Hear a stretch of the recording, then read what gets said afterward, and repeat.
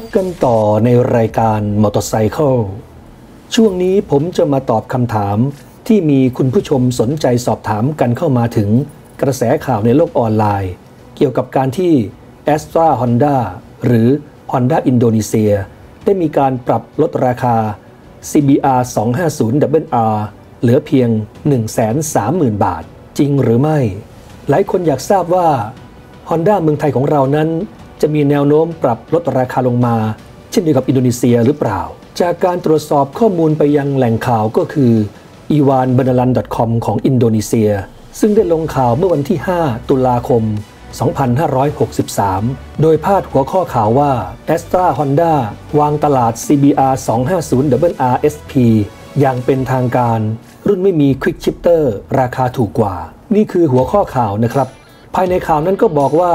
C.B.R.250R นั้นรุ่น Standard จะมีแรงม้าอยู่ที่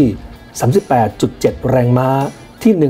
12,500 รอบต่อนาที ขณะที่รุ่น C.B.R.250R.S.P จะมี 2 แบบให้เลือกก็คือ รุ่นมี Quick Shifter และไม่มี Quick Shifter โดยบอกว่ารุ่นไม่มี Quick Shifter นั้น ราคาจะถูกกว่า และก็ได้มีการแจกแจงเรื่องของราคารุ่นต่างๆของ C.B.R.250R โดยไม่ได้มีการบอกเลยแม้แต่นิดเดียวว่า Astra Honda ปรับลดราคาของ CBR 250 WR ลงมาเหลือ 130,000 บาท อย่างที่มีกระแสข่าวในโลกออนไลน์ของเมืองไทยณขณะนี้ ย้ำอีกครั้งหนึ่งนะครับว่าจากต้นตอของแหล่งข่าวก็คือ e w a n b a n a l a n c o m นั้น ไม่ได้มีการกล่าวถึงเรื่องของการปรับลดราคาแต่อย่างใด ดังนั้นกระแสข่าวที่เกิดขึ้นในโลกออนไลน์ขณะนี้ของเมืองไทยเรา น่าจะเป็นการแปลข่าวที่ผิดพลาดมากกว่าครับ ผมลองตรวจสอบย้อนหลังเรื่องของราคา CBR 250 RR ในช่วง 3 ปีที่ผ่านมา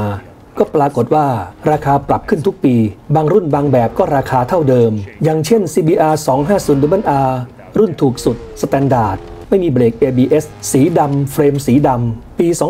2561 ที่ผ่านมา วางราคาอยู่ที่ 59 ล้าน9แสนลูเปีย ถัดมาปี 2562 ราคาขยับขึ้นเป็น 59 ล้าน 9แสน55,000 รูเปีย มาถึงปี 2563 ราคาขยับขึ้นเป็น 61 ล้าน6แสนลูเปีย จนถึงขณะนี้นะครับ เดือนตุลาคม ราคายังคงอยู่เท่าเดิมก็คือ 61 ล้าน6แสนลูเปีย คิดเป็นเงินไทย 137,000 บาท จากอัตราแลกเปลี่ยน 1 บาทต่อ 471 รูเปียครับ ก็จะเห็นว่าในช่วง 3 ปีที่ผ่านมา ราคาปรับขึ้นทุกปี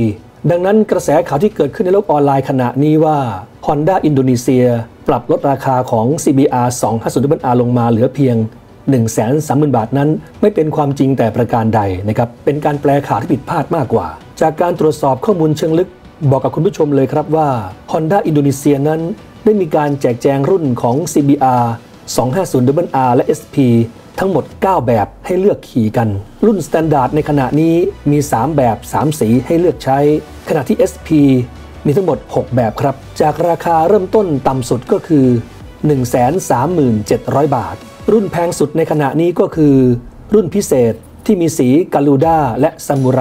ลายกราฟิกสองข้างของตัวรถไม่เหมือนกัน นี่คือรุ่น SP และมี Quick Shifter